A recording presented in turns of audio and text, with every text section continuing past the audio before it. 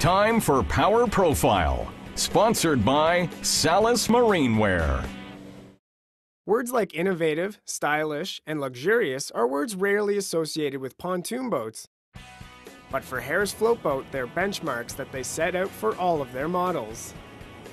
This week on Power Profile, we're going to look at the new for 2011 Solstice 230, a 23 foot pontoon with an interior layout you have to see to believe.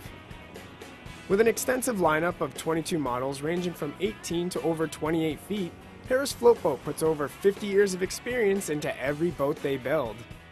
And at 24 feet 8 inches, the 230 is the smallest of three new Solstice members to the Harris family and is a refreshing blend of classic pontoon styling with modern touches and flowing lines.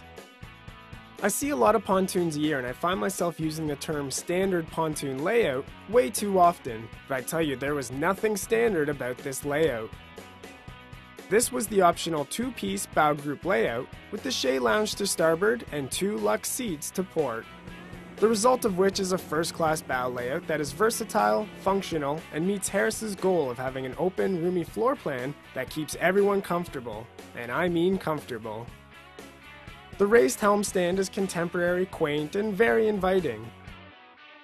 The rounded instrument panel is clean and simple, and the mix of toggle switches, cup holders, stereo options, and glove compartments are well balanced and not at all cluttered. Now here to aft is where the real magic happens. This is Harris's all new Transformer lounger and it starts off as your typical Shea lounge. Then these side walls disappear, armrest appears and you have your own personal recliner. But it gets better. You need something from under my seat while I'm not getting up. Wow. These storage drawers keep both of us happy. In choosing available layout options for the Solstice models, Harris conducted extensive voice of the customer surveys to make sure they got what they wanted. It's that kind of customer dedication and forward thinking that has kept Harris a leader in the pontoon game for so long.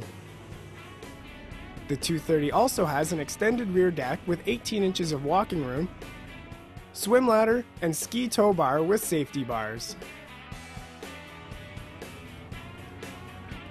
Now powering the Solstice is Mercury's 115 horsepower four-stroke. Now personally I'm a sucker for speedy pontoons so I, I would have liked to see it with the max 150, but the 115 should give us some comfortable speeds. And sure enough, it did. The 0 to 15 acceleration was a modest 4.38 seconds, and the comfortable mid-range was around 20 miles per hour at 5,000 RPM and it was evident that the 115 was a great choice for the 230 Solstice.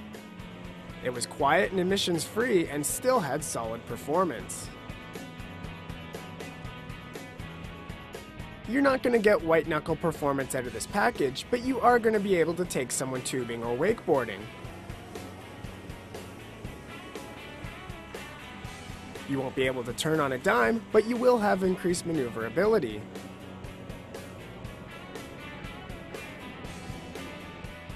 And all in all, the Solstice just felt like a strong, stable, and well built boat. There weren't any rattles or vibrations, and you could really feel the quality and care that goes into each Harris Flotebote pontoon.